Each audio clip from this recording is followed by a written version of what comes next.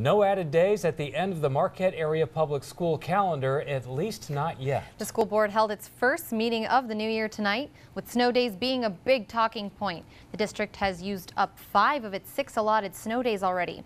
If they go over their allotted days, there will be extra time added at the end of the year. Superintendent Bill Saunders says a sustained temperature of 25 degrees below zero will close schools give or take a degree or weather conditions like high winds. Another topic, the continued effort to make all school buildings greener by using sinking fund money. We are replacing single pane windows in the district. We are replacing inefficient doors, things like that in the district. Uh, we are still working on, on retrofitting some lighting, uh, putting sensors in hallways so they go dark unless we have student movement. We have a lot of things like that built into, uh, into what we're going to do.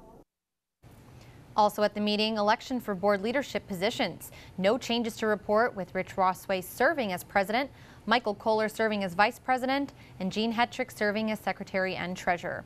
All were unopposed.